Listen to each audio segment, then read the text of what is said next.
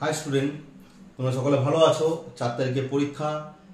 Preparation যত দিন যাচ্ছে, তত ভালো হওয়া উচিত। আর আমি কিছু কলকাতা পুলিশের কনস্টেবলের কিছু অঙ্ক নিয়ে আজকে এসছি আবার। দেখো, প্রথম অঙ্ক। বিধানসভা নির্বাচনে কোনো কেন্দ্রে দুজন প্রার্থী ছিলেন। এই কেন্দ্রে ভোটদানে ফোর পার্সেন্ট ভোটদানে বিরত ছিলেন।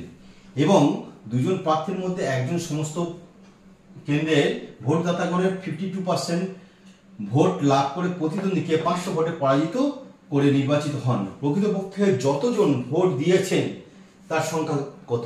তাহলে ফোর পার্সেন্ট যদি ভোট না দিয়ে থাকে, আমি মনে করছি হান্ড্রেড পার্সেন্ট ভোটার, তাহলে ফোর পার্সেন্ট ভোট দেয় তাহলে ভোট দিয়েছে কত? নাইনটি সিক্স পার্সেন্ট তাহলে নাইনটি সিক্স পার্সেন্ট যদি ভোট দেয় দুজন প্রার্থী, তাহলে একজন হচ্ছে উইনার একজন হচ্ছে লুজার তাহলে উইনার পেয়েছে এখানে কত? ফিফটি টু পার্সেন্ট আর লুজার তাহলে কত? Forty four percent winner fifty two percent পেয়েছে, টোটালে ফিফটি টু তাহলে উইনার যদি ফিফটি টু পায়, তাহলে লুজার পাবে হচ্ছে ফর্টি ফোর পার্সেন্ট আর এখানে ফোর পার্সেন্ট হচ্ছে ভোট দেয়নি। তাহলে এদের পার্থক্য, এবার উইনার আর লুজারের মধ্যে পার্থক্য কত? এইট পার্সেন্ট এইট পার্সেন্ট সমান সমান হচ্ছে পাঁচশো জন। এইট পার্সেন্ট সমান পাঁচশো।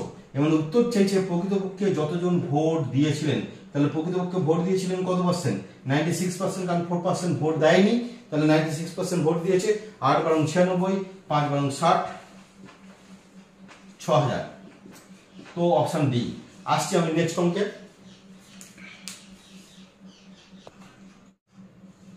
একটি ট্রেন সাত কিমি পার আওয়ার গতিতে কলকাতা থেকে আসানসোলে গেল। আবার আসানসোল থেকে কলকাতা ফিরেছে চল্লিশ কিলোমিটার গতিতে গতিতে। উভয় যাত্রা গড় গতিবেগ কত? তাহলে দেখো এখানে আসানসোল আর এখানে হচ্ছে কলকাতা। এখান থেকে হচ্ছে একটা ষাট কিলোমিটার মানে কলকাতা থেকে আসানসোলে গেছে। এখান থেকে এখানে এসে ষাট কিমি পার আওয়ারে, আর এখান থেকে এখানে ফিরেছে চল্লিশ কিলোমিটার পার আওয়ারে। চল্লিশ কিমি পার আওয়ারে।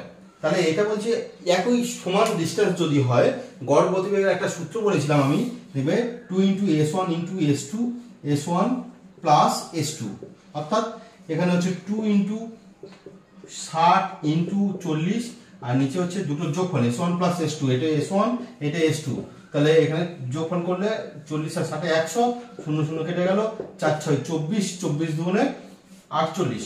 আটচল্লিশ কিমি আটচল্লিশ কিমি পার আওয়ার গতিবেগ এখানে অপশান দেওয়া হয়নি, তো আটচল্লিশ কিমি পার আওয়ারে আনসার নেক্সট অঙ্ক। একটি স্তম্ভের এক তৃতীয়াংশ কালো রং করা হলো, আর বাকি অংশে, বাকি অংশের, এখানে কথাগুলো দেখো, বাকি অংশের পাঁচের এগারো অংশ লাল। তাহলে ব্ল্যাক হয়েছিল কত? ব্ল্যাক হচ্ছে ওয়ান থার্ড আর বাকি অংশ রিমেনিং বাকি অংশ তাহলে কত? দুয়ের তিন। তাহলে বাকি অংশের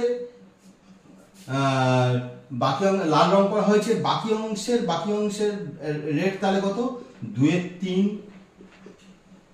ইন্টু পাঁচ বাই এগারো। তাহলে দশ বাই তেত্রিশ। দশ বাই তেত্রিশ। এটা হচ্ছে রেড করা হচ্ছে বাকি অংশের পাঁচের এগারো অংশ লাল রং করা হয় এবং অবশিষ্ট অংশে সাদা রং করা হয় এবং অবশিষ্ট অংশ সাদা রং করা হয়।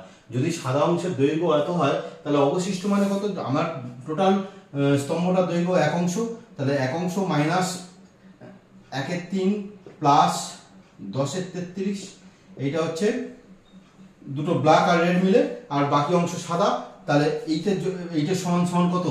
ষাট। তাহলে আমরা এটা করে ফেলি যে ওয়ান মাইনাস এটা যোগ করলে হচ্ছে তেত্রিশ এলসিএম। তাহলে তেত্রিশ এলসিএম, দেখো, এগারো প্লাস দশ।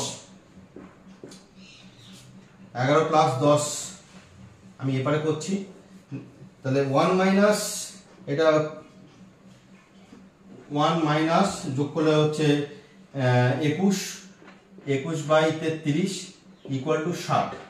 তাহলে তেত্রিশ এলসিএম তেত্রিশ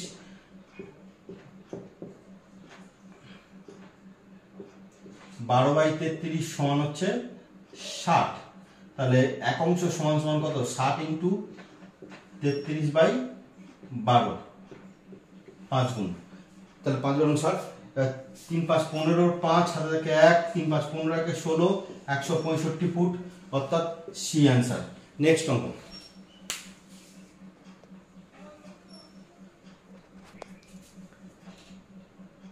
কতিপয় ব্যক্তি স্থির করলেন, তারা যতজন আছেন, প্রত্যেকে তত টাকা ব্যয় করবেন। তারা মোট এত টাকা ব্যয় করলেন ব্যক্তির সংখ্যা কত? মানে অঙ্কর কথা হচ্ছে কি, দুজন যদি লোক থাকে, তাহলে দু টাকা করে দেবে যতজন লোক? তিনজন লোক থাকলে তিন টাকা করে দেবে অর্থাৎ কি, এটা একটা হচ্ছে বর্গ সংখ্যা। এই সংখ্যাটা বর্গ সংখ্যা। মানে এটা গুণ করলে কত? চার। তাহলে মোট দুজন লোক দু টাকা করে দিয়েছে, চার টাকা উঠেছে। তাহলে এরকম একটা সংখ্যা, কি সংখ্যা? এটা বর্গমূল করতে হবে তার মানে।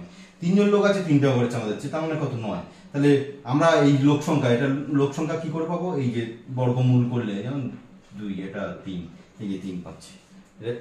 তিনজন লোক তিন টাকা করে চাঁদা। তাহলে এই ধরনের, তোমাকে তাহলে এটা বর্গমূল করব। তাহলে পঁচাত্তর সিক্স নেই। তাহলে এটাকে বর্গমূল করলে আট আটা চৌষট্টি, আমি শর্টকাটে করছি, এর একটা ভিডিও দেবো। পরে যে কীভাবে বর্গমূল করতে হয়, দেখবে এর একটা ভিডিও আমি দিয়ে দেবো। কিন্তু এখানে যারা জানো না, একটুখানি বোঝার চেষ্টা করো বা নিজেরা যেভাবে জানো সেটা করতে পারো। আট আটা চৌষট্টি সিক্সটি ফোর এখানে ডিফারেন্স হচ্ছে ছয় পাঁচে এগারো। হ্যাঁ তাহলে আটের থেকে এগারো বড়, তাহলে এখানে ইউনিট ডিজিট হচ্ছে নয় আছে, নয়ের জন্য বড় সংখ্যা হচ্ছে সাত। ঠিক আছে?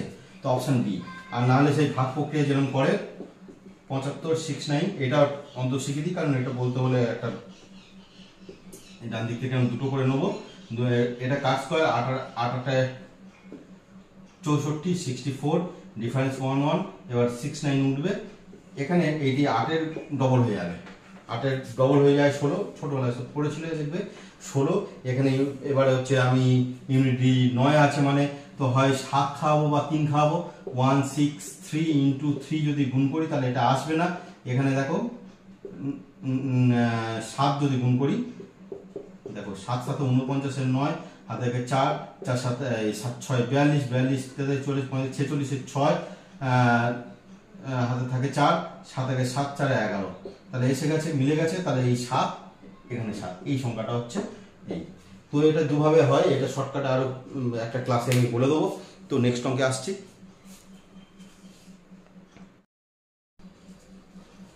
এগারোটি ক্রমান্বয়ে পরপর অযুগ্ম সংখ্যার যোগফল দুশো তিপ্পান্ন ক্ষুদ্রতম সংখ্যাটি হলো। তাহলে কি বলছে? যে এগারোটা সংখ্যা, দুশো তিপ্পান্ন হচ্ছে যোগফল, এগারোটা সংখ্যা। তাহলে আমার অ্যাভারেজ হচ্ছে এটা ডিভাইডেড বাই এগারো, তেইশ। তাহলে এটা হচ্ছে দেখো সিক্সতম নম্বর, যেটা হচ্ছে তেইশ। তাই না? এপারে পাঁচটা সংখ্যা আছে, এপারেও পাঁচটা সংখ্যা আছে।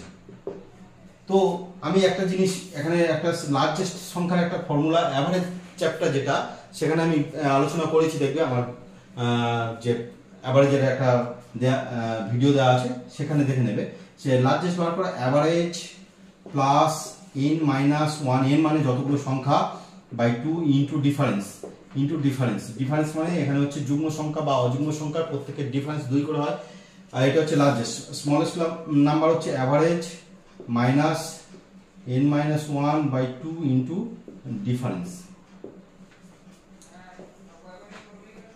এই, তাহলে আমরা এখানে স্মলেস্ট পেয়েছে, চেয়েছে স্মলেস্ট হচ্ছে অ্যাভারেজ কত? তেইশ। আর n minus one n minus one minus দিলাম এন মাইনাস ওয়ান মানে কত? দশ। দশ বাই টু ইন্টু টু এই দুই দুই কেটে গেল, তাহলে তেইশ মাইনাস দশ মানে হচ্ছে তেরো। তাহলে অ্যান্সার হচ্ছে তেরো, দেখো। ঠিক আছে? নেক্সট অঙ্ক। একের চার, একের তিন দুয়ের পাঁচ, তিনের সাত। ভগ্নাংশগুলির মধ্যে বৃহত্তম ক্ষুদ্রতম ভগ্নাংশের অন্তর কত? ঠিক আছে? তো এগুলোর মধ্যে, এর মধ্যে বৃহত্তম কি আর ক্ষুদ্রতম কি? আমরা দেখো একের চার, একের তিন, এর মধ্যে দেখে নিচ্ছি তিন একে তিন, কোনাকুনি গুণ করে দেবে। তাহলে এইটা বড়, এটা বড় এই দুটোর মধ্যে। এবার যেহেতু আমি বড় আগে চুজ করে নিচ্ছি তাহলে এইটা এটার মধ্যে দেখো কোনাকুনি গুলো ছয় আর এটা পাঁচ, তার মানে এটা বড়। এটার সাথে এটা গুণ করলে কত? তিন, পাঁচে, পনেরো, সাত গুণে চোদ্দ, তার মানে এটা বড়, এটা হচ্ছে বড়। এবার ক্ষুদ্রতম। ক্ষুদ্রতম, দেখো, এই ক্ষুদ্রতম সংখ্যা কোনটা? না, ক্ষুদ্রতম সংখ্যা হচ্ছে এটা, এর মধ্যে এটা এটা এটা গুণ করলে পাঁচ, ছয়, তার মানে এ ছোট। এবার এইটার সাথে এটা তিন একে তিন, চার একে চার, তার মানে এ ছোট। এটা হচ্ছে স্মলেস্ট এটা হচ্ছে লার্জেস্ট এখান থেকে পেয়ে গেলাম। কোনাকুনি গুণ করে পাবে, তাহলে এটা হচ্ছে স্মলেস্ট এটা লার্জেস্ট তাহলে উত্তর চেয়েছে ভগ্নাংশগুলোর মধ্যে বৃহত্তম ও ক্ষুদ্রতম ভগ্নাংশের অন্তর্ফল। তাহলে তিনের সাত মাইনাস একের চার। তাহলে এলসিএম করলে কত? আঠাশ। তাহলে এলসিএম করলে কত পাচ্ছি? আটাশ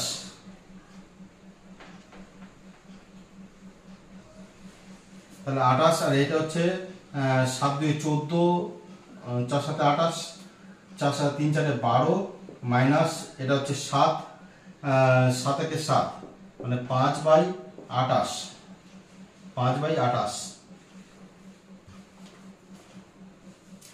তো পাঁচ বাই আটাশ এটা সরি এটা ভুলতে এটা পাঁচ বাই আটাশ তো অ্যান্সার এটা। নেক্সট অঙ্ক